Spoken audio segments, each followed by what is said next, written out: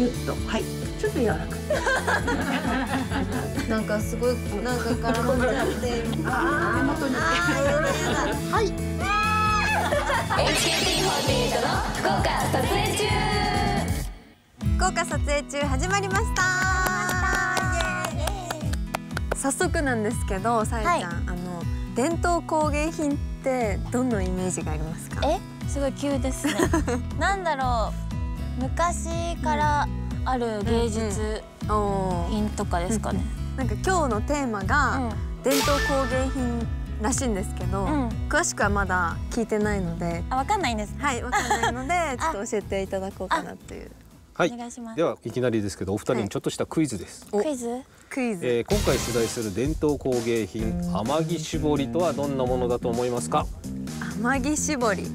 甘木絞り？甘いものを絞った木。どういうことですか？パッと聞いたら。って思いました私は。さえちゃんどうですか？私は甘木絞り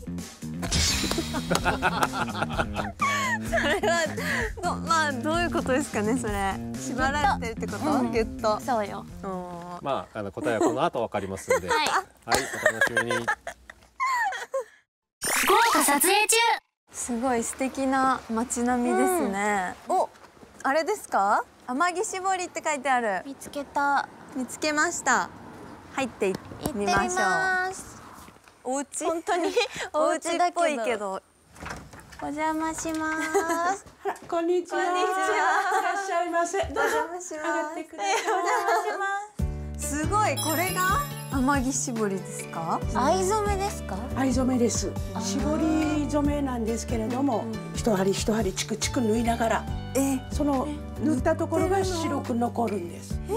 100種類ぐらい絞り方あるって言われてるんですけど、このちっちゃい丸、かのこ絞りと言います。それからこの丸が白く残るのが、かつてはタケノコの皮を巻いて防染染まないようにするとこんなに白く残るなんるですよ。ほ。ど、うん、これがもう一番の天城絞りの特徴なんです。えこれじゃあ一つ一つ絞一つずつ。すごいですね。一つずつ甘木絞りっていつぐらいからああるんのですか？江戸時代18世紀にはもう文献に登場してるんですよ。え。ー、すごい。でずーっと続いてて戦争を挟んで昭和26年くらいに残念ながら亡くなってしまったんです。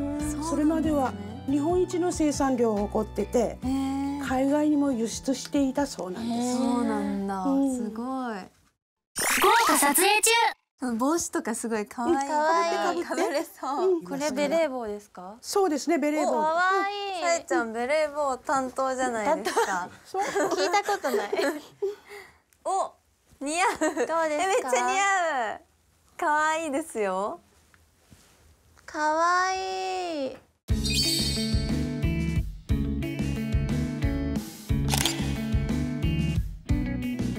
リボン？私はこのリボンをリボンなんてあるの可愛い可愛い福岡撮影中。この甘木絞りってどうやって作るのか教えてもらってもいいですか？まず白い木綿か絹か麻という天然繊維。でそれに下絵を描きましてそれをとにかくチクチクチクチク縫う、今でいうコスパがすごく悪い。もう一つ作るのに何ヶ月もかかるんですよ。全部手で縫うわけですから。洋服に仕立てるためには、まず仕立てます。うん。だからこれも一点物ですもう全部が一点物でこれにふさわしいデザインを考えながら絵を描いてそれを絞って染め上げる。だからもうこれと同じものくださいって言われてもそっくり同じものは作れない。で作ってるとこを見せてもらいたいんですけど、い、いですか？いいですか？お二人もはい。一緒に作ってください、はい。撮影中。あれ新メンバーが増えましたが こちらの皆さんははい、あの私たちここで天城絞り研究会っていうのをやってるんです。これは私たちの今のメンバーです。うん、だからそれぞれが皆さん作家としてご自宅でそ絞って染めて作品をここに持ち寄ってくださってる作家さんたちなんですよ。でこれ以外にあとまあ練習生っていうか、おうん研究生っていうか。研究生いるんですか、はい、いらっしゃるんです。私と一緒です、うん、そこまで若くはないんですけど、ええで今日はあのせっかくですので、はい。エコバッグを作っていただこうと思います。この線の通りに縫うんですけど、縫った後の処理の仕方で表情が変わってきます。同じようにこの丸もそうですね。縫っていただくのはこの周りの線の通りにチクチクと縫ってください。はいはい。えなんか緊張する乱れてもそれが味わいとして結構細かい作業ですそうなんです。そりゃ時間かかる、うんこれ一番簡単なそうです。一番簡単な。小学生のお子さんもされます。それを。すごいなんかこういう細かい作業好きだから楽しいほらちょっと順調アイドル卒業して時間ができたら、うちのメンバーに入ってくださ研究生からい。はい。野田さんが塗ってるの見てみたいですはい。あらすごい早いし細かい見て学ぶ。正規メンバーになるため。これとかもどんぐらいで出来上がる？うん、それ縫うのに2週間から3週間ぐらい。染め終わった後にほど。1枚ずつほどかなきゃいけないんですよ。はい。か。だからほどくのに3日ぐらいかかりました、はいえほどいたとこ見てみたいです。上に引っ張ったらおほどけるんですけど、ペロおペロって。すごい。ただこんな巻き上げたものが、はい。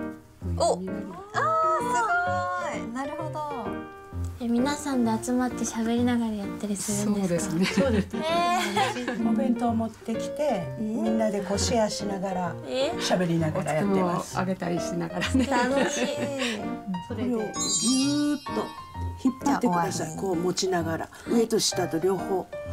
なるほど難しい難しいですね。慣れないとね。で、螺旋状に巻いていってください。この時に緩まないようにしっかり、はいしっかりしっかり。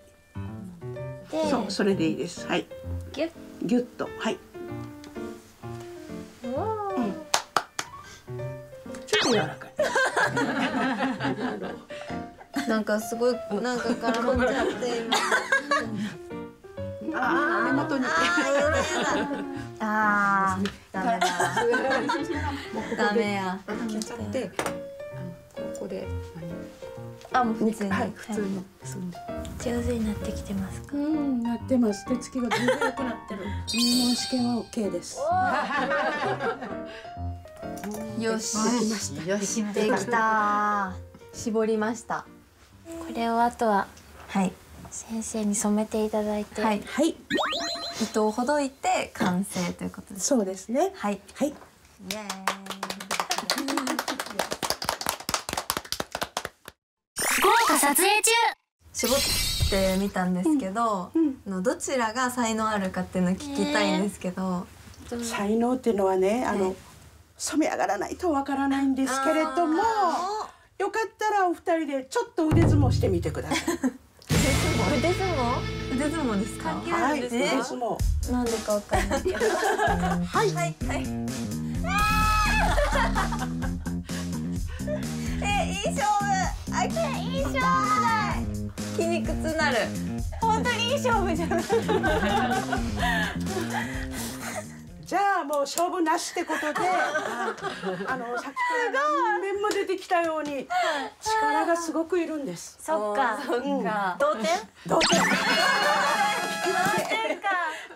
同点同点っていうのでしたはどうですかじゃあ罰ゲームなしで罰ゲームがあったんです。か。あら、じゃあ決めらなか。ったね。大丈夫です。大丈夫です。福岡撮影中。はい、えっと、今日は福岡県の伝統工芸品天城絞りについてたくさん学んだんですけどどうでしたか、今日は知るだけではなく、実際に自分でん。体験して、うんよりこう難しさ大変さも分かったし、その天城絞りの素晴らしさも分かったんですけど、うんこれはもう完成が本当に楽しみだなって、うちらが作ったんだよ、だって。ちゃんと縛って。ねそう楽しみです、はい。福岡県には経済産業大臣が指定する伝統的工芸品7品目と福岡県知事が指定する県知事指定特産民工芸品37品目があるのですがインスタグラム福岡伝統工芸ファンクラブではさまざまな情報を発信しています。